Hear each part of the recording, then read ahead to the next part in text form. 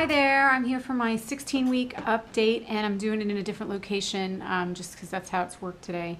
Um, and I am again on Natural today. I, am actually going to get my, my roots done, uh, highlights. I know we can do um, highlights during pregnancy because they use the foil and so I'm going to get that done. So I'll probably look a lot better later, but unfortunately I don't have time to do my um, pregnancy blog later after my hair is done. So um, so I'm here today and I'm feeling kind of weird because I'm trying out this like maternity shirt and I've been, I don't know about you guys, but I've been having a really hard time finding clothing that uh, fits my personality. You know, um, I like funky, I like um, like BB, like stuff like that. And obviously, like, there's not a lot of places that make clothes that fit that style. Um, there is one online called ASOS that looks kind of cute but I heard that they they take a long, long time to ship. And then I was doing Zulily, and they take like a month to ship. So it's almost like when you need them, you're not going to have the clothes when you order them. So and then they all the other sites like they all have like these style shirts, which is really weird for me. This is not my personality at all. So I'm just um I don't think I think out of all the ones I have, I, I don't like this one, and of course I'm wearing it for my pregnancy video. But um, oh well, I'm trying it out. I'm trying to do the maternity clothes thing. I do still fit some of my other clothes, but um, sometimes I just don't feel like wearing tighter clothes, and this is actually a pretty comfortable shirt at least. So oh well, it's a part of um, the process. So what else has been going on this week? I am really tired today. We did, let's see, we did a, a rock out with the Elmores this weekend. We had a really busy weekend. It was a fun weekend. Um, pregnancy symptom wise, let's see, I feel like my brain is fried today. um, I Today I feel like absolutely no symptoms, uh, which is not as fun, you know, when I don't have as many symptoms. But I did have stuff all week, so let me try to remember so today I'm 16 weeks pregnant, four months. This pregnancy is flying by and going slow at the same time, which I've talked about in the past. But yeah, 16 weeks, it feels like I'm really, you know, into it now. So, um, so I'm really excited about that. Um, I do, okay, so let's talk about all the stuff that's gone on this week. Okay, yesterday was crazy. Um, somebody was over our house and they didn't mean any harm. They were just doing some uh, handstands on the wall in our house, like playing around. And I walked by, and as I walked by, they kicked down from their handstand, and I got kicked in the stomach. Um, I got a little scared. I mean, it hurt, but it wasn't like bruised or a major stomach trauma, but it did. I mean, it kicked me right where the baby is usually. And I just laid down and I just breathed and and Harry was like, "Don't worry, I'll rub your feet. Everything's gonna be okay." But um, I was pretty upset for a few minutes. I'm like, "Please be careful," you know. So, um, and then I have all these, you know, concerned anxiety thoughts like, "Oh my gosh, what if something got injured uh, on the baby? Like, what if the the ear got kicked and their like birth canals ki- I mean their ear canals kicked in. It's like that probably very improbable, but um, still caused me to have some anxiety. But I just let it go. I'm like trusting that there's enough padding there to protect the baby. There's a reason why it's in, you know, surrounded by that amniotic fluid. So hopefully everything's okay. I didn't get my Monroe piercing yet, as you guys can see. Um, we just didn't have time to go and um, I think I am a little, con- I am like slightly scared about it. I watch, I watched a video of somebody doing it and I saw the needle going through. Now I, I mean, I've already done other piercings, so I don't know why I'm suddenly scared, but I'm a little scared, but, um, and also I do, you know, I do wonder like, is my immune system gonna, because it's weaker when I'm pregnant, is it okay to do it?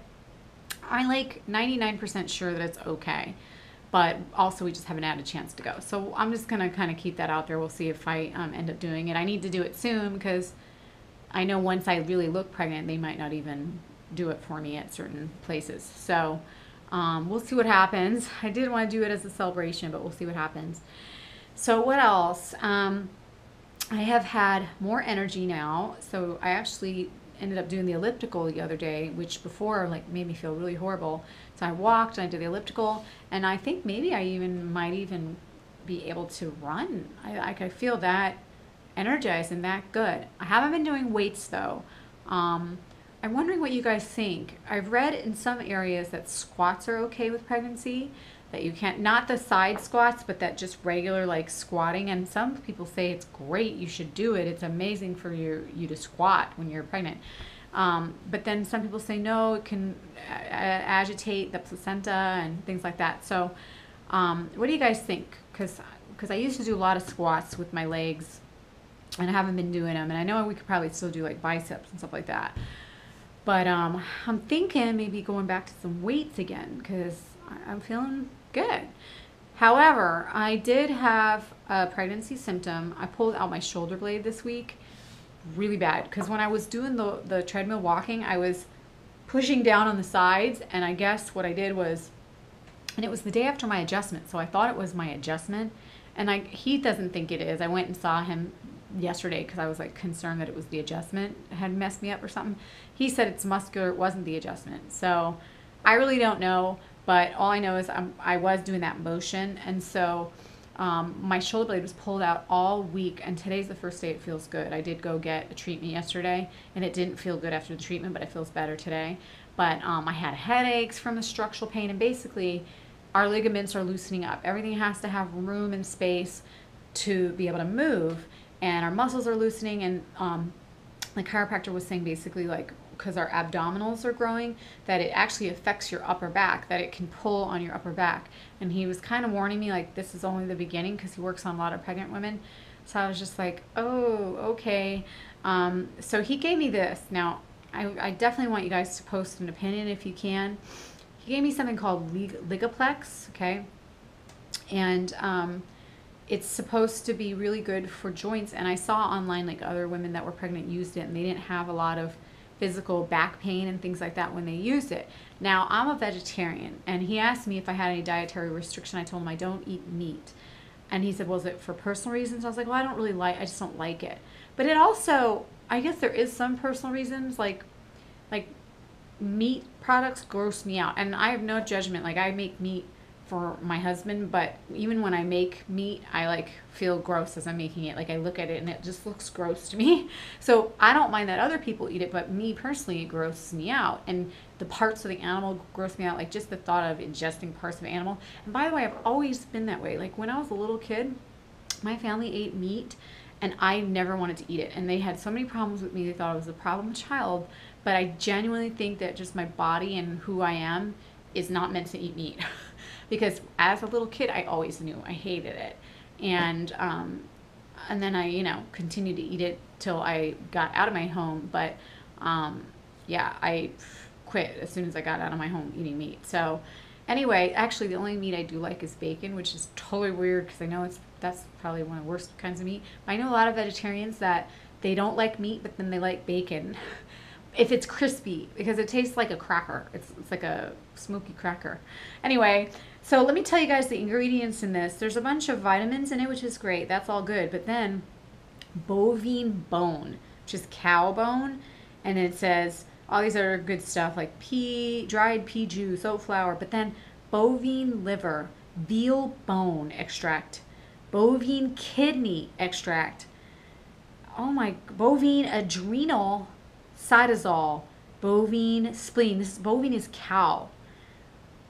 I mean, I don't even got people that eat meat. When you think about it, do you want to eat the spleen? Do you want to eat the the liver? Like, doesn't that even gross? Does that gross even you meat eaters out? Because it grosses me out. But I heard this stuff works amazing. He said that he gets his shoulder blade pulled out a lot, and that this is really good for people that work out and for pregnant women.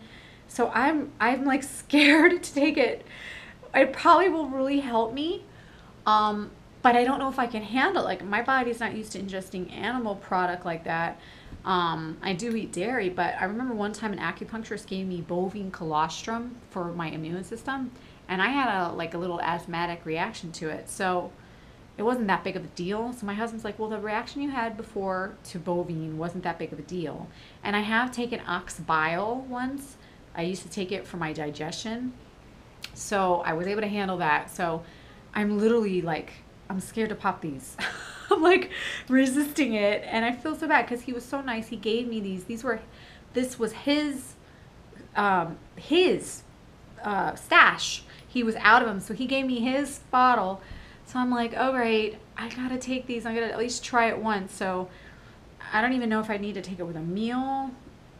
I don't know. I'm scared, guys. What do you think? Should I take it? Yes or no? Post below if you want to answer. I, I really need some help. What do you think? Will you think I'll be okay taking it? You think it's better to have less pain throughout pregnancy physically and just deal with it, taking these, like, just kind of not think about what I'm taking and just take it?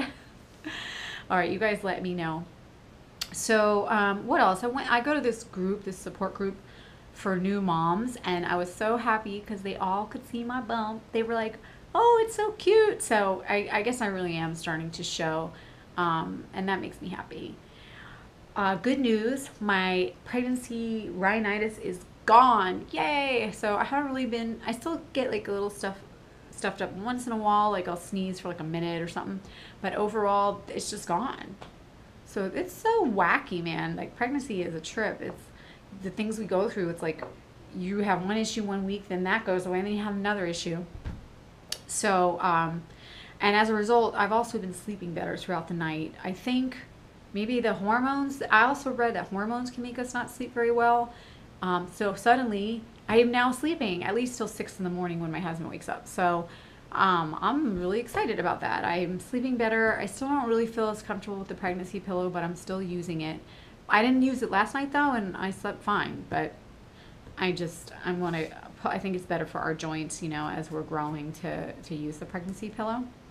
So that's really good. What else has gone is um, that insatiable hunger. But I think it's because I've just learned to eat bigger meals now. I just, I, I guess I wasn't used to that before. I was trying to eat the same size meals that I used to eat, and that just doesn't work. So, you know, like if I have like a veggie sandwich, you know, I used to have like maybe I would have cut a piece of bread and have it like, because I, I use a lot of fresh bread, and I would have it like this small, you know, and now I'm like, I like cut a hunk of bread like this big and I just fill it with veggies and stuff and it's just oh my god that sounds really good right now. So I'm just eating bigger meals and I'm I'm not insatiably hungry and I'm not I'm not even eating before bed anymore because my dinners are have been bigger. So um, I don't know that's working for me right now. Um, let's see what else has been going on? Oh I've been on the search for a good face wash, and you know when we're not supposed to have certain things on our even topical, like no retinoids, and it seems like all the face washes that and the face moisturizers. Also, I'm looking for a moisturizer. They so much of them have um, all of the vitamin A in it, and so and then salicylic acid, salicylic acid, and I forgot we weren't supposed to have salicylic acid, so I went and I got this like salicylic acid face wash. I spent all this money and then I realized I'm not supposed to have it. So do you guys have any suggestions? I can't, I don't even know what brand to get. I want to get one that helps you have like brightening, kind of like a brightening and, and makes your skin, I want a moisturizer that makes your skin look supple. I tried ordering one online that had like vitamin E and it was, um, um, I forgot what the company was. It's a great company. I used to get their stuff all the time. But then it, that one was making me break out because it was too, it was like too greasy. So um, I think maybe hyaluronic acid might be right for me, but those products are so expensive. So do you guys know a product that is reasonably priced that is a good face wash to make your face kind of look supple and a good moisturizer? Because I just wasted my money on, on this stuff. Like, I know we can have alpha hydroxy and that might help. So do you guys know a good product for that? So let me know because I'm on the search. I like look online all the time and I, I just have no idea. It's like it's almost like you don't know until you try it. So it'd get better to get a, a recommendation.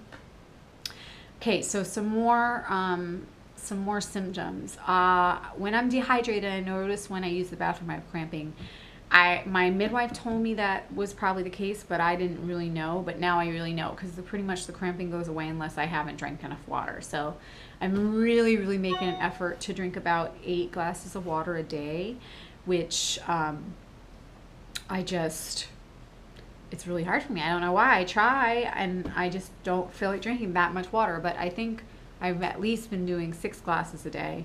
And I know my midwife was telling me I need to do eight and increase, but I'm trying, I'm trying. Maybe I do at least eight glasses of liquid a day, though. I, I do a half a cup of black tea in the morning, which is my only caffeine I allow. And then I do, um, sometimes I do like a cup of juice. So those are two glasses of liquid. So hopefully I'm doing all right. I mean, I haven't been, I had cramping one day and it was really bad. It almost felt like a, like a what labor pain I imagine a labor pain would feel. It was pretty bad. Um, and then it goes away once I use the bathroom. But um, I, I guess that our nerves are sensitive. If we're dehydrated, we can have more cramping. So drink your water, ladies. Um, what else? I had an extremely weird dream last night. Okay, I haven't had one of those pregnancy dreams yet. I've just been having like weird dreams. But last night I dreamt that the baby came out at the size that it is now. And this is really wacky. Um, I had to put it in its baby bath. And when we I put it in the baby bath, like, and it came out like it was like frozen, like it was it was almost like one of those rubber things that you you put water on and then they grow. So what happened was, this is crazy. So then I put it in the baby bath and I got the water on it and it grew into a full-sized baby and then it like suddenly like became alive and it was like laughing and a little crying and I was so happy in the dream. I was like, "Oh my gosh, the baby grew. It's okay. It's going to be okay." And and then fast forward, the dream was the, the and the baby was a boy in the dream, which I still don't know the gender the baby was a boy and um, fast forward in the dream the my baby was grown up to a full grown man it was like a 30 year old man and he was kind of like a guido guy he had like like like blonde gelled hair and like a black leather jacket and he was a really nice guy in the dream like I, like I remember the whole dream of watching his personality and that he was the kind of person that helps people out and that was really sweet and I don't know. That was a, just an odd dream. I have no idea why I dreamt that, and I don't think I'm having a boy. So maybe we are, though. I don't know. That'd be crazy. I was reading about um, circumcision and all that kind of stuff. Like we haven't even thought about that because we don't think it's a boy. But I guess if it is a boy, we'll probably end up doing the circumcision thing, which people have a lot of opinions about.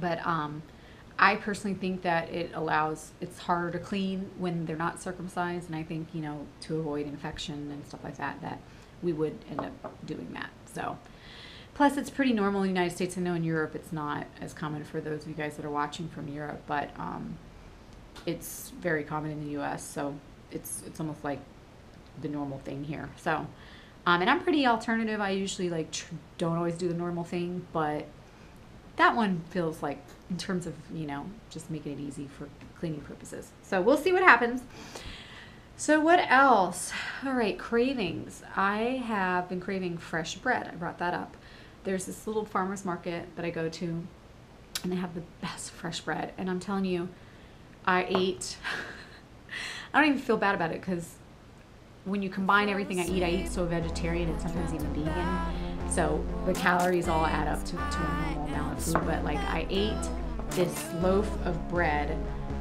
Um, I shared some pieces with my family, but then the rest of it I ate within two days. So this loaf of bread was gone because I made a big veggie sandwich, then I made another big veggie sandwich, and then I had like four, you know, different occasions pieces of bread with butter. And I love bread. I've always loved bread. Like right now, I really, really love fresh bread. So actually, I'm like I need to get another book for that. So um, yeah, bread has been a staple for me. Bread and lots of veggies. So I guess that's about it. Not too much today. Um, just uh, still growing, growing, growing, and excited, excited, excited. Like can't wait. It's fully grown and comes out. So let me um, show you guys my bump, my bump diddy bump diddy bump and um, here. So, okay, pull the shirt a little bit so you can see. There we go. Here we go. It is happening. It is bigger. It is big this week. You gotta, you gotta admit, it is. So, I hope all of you are having great pregnancies and um, subscribe here. Let's continue to connect. Let's help share stories and um, give each other support throughout our pregnancies and have a really great week. Talk to you soon. Bye bye.